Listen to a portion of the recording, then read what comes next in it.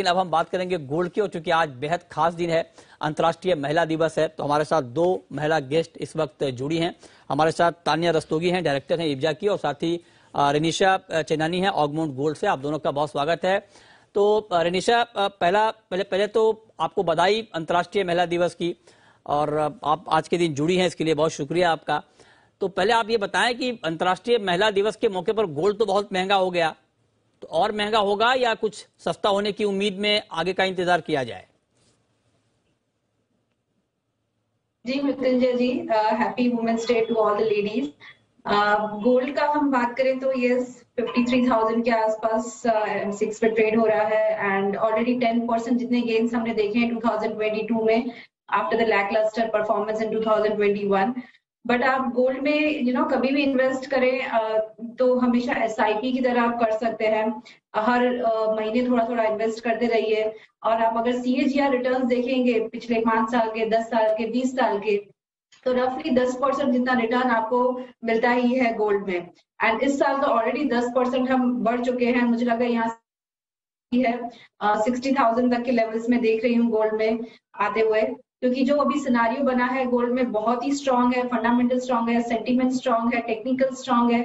और ये जो सिनारियो बना है, काफ़ी सालों के बाद ऑलमोस्ट दस सालों के बाद ऐसा सिनारियो बना है जहाँ पे सारे के सारे फैक्टर्स डिमांड भी काफ़ी अच्छी है। ज्वेलरी डिमांड हम एशियन कंट्रीज़ से काफ़ी स्ट्रांग देख रहे हैं। इन्वेस्टमेंट डिमांड जो होती है ईटीएफ e से ग्लोबली या फिर बाकी jewellery sorry central bank demand है, वो भी काफ़ी स्ट्रांग है।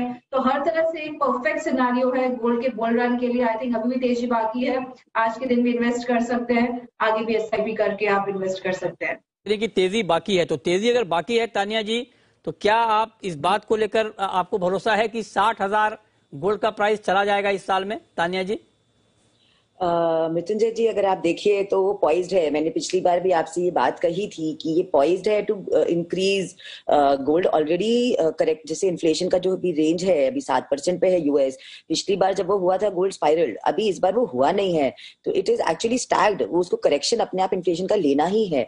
सो so, एंड uh, सब तरफ़ से यही बात आ रही है। In fact eleven point seven percent का हम लोग को increment within this year दे चुकी है। एंड अभी we are hardly into you know the first quarter so absolutely and मैं हमेशा ये बोली हूँ कि जो जनवरी में होता है वो लास्ट ईयर से हमें बढ़ता हुआ दिखता है बट उस साल में वो भाव हम वापस नहीं पहुँच पाते हैं।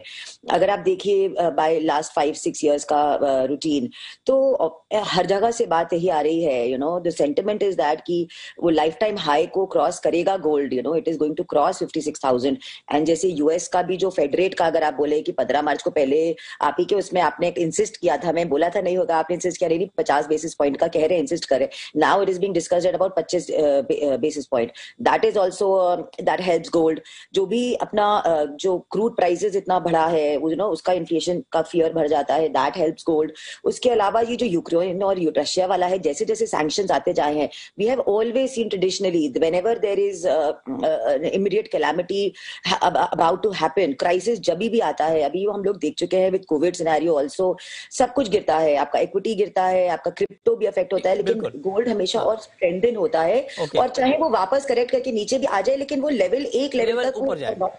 हाँ। तो मतलब आप कह रही है कि मतलब फंडामेंटली दोनों एक्सपर्ट की राय ये है कि गोल्ड में अभी तेज़ी बाकी